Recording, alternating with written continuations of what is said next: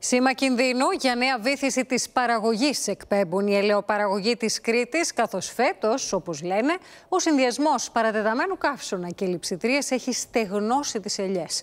Παρά τα προβλήματα πάντως, οι τιμές έχουν αρχίσει να υποχωρούν αισθητά. Αυτή η ελιά έπρεπε να είναι τριπλάσια. Το κανονικό της ε, μέγεθος, αυτό που είχαμε πριν από δύο χρόνια, έπρεπε να είναι τριπλάσια και τότε θα είχε και λάδι μέσα. Η παρατεταμένη ανομβρία των τελευταίων μηνών έχει επιφέρει ανυπολόγιστε ζημιές στους ελαιώνες της Κρήτης, με τους παραγωγούς να βρίσκονται κυριολεκτικά σε απόγνωση. Γειτανιέ, ε, παρακάλια, δεν ξέρω κι εγώ τι πρέπει να κάνουμε. Άλλος κάνει κουμάντο.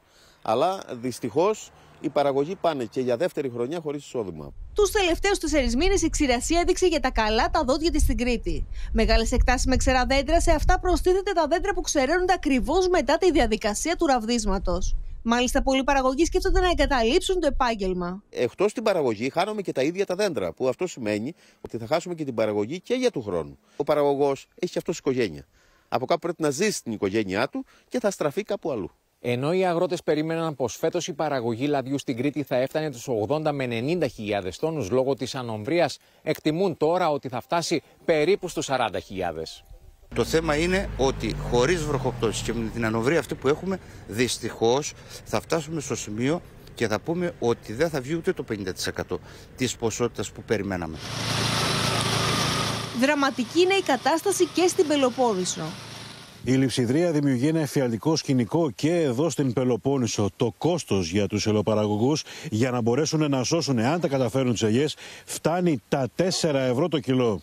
Όχι, όχι. Δυστυχώς η χρονιά δεν θα είναι καλή. Υπάρχει καρπός. Ο καρπός όμως, όπως βλέπετε, είναι αφιδατωμένο. Και δυστυχώς αυτή η ελιά δεν θα έχει απόδοση. Οι ελαιοπαραγωγοί λένε ότι ακόμα και να βρέξει το επόμενο χρονικό διάστημα θα είναι δώρο άδωρον για εκείνους, γιατί τώρα γίνεται η συγκομιδή του καρπού.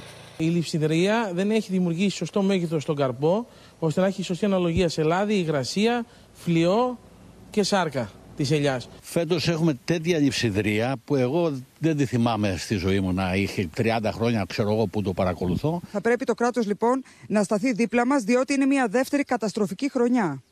Όπως λένε οι παραγωγοί, η μειωμένη συγκομιδή είναι πιθανό να συμπαρασύρει και τις τιμές του ελαιολάδου.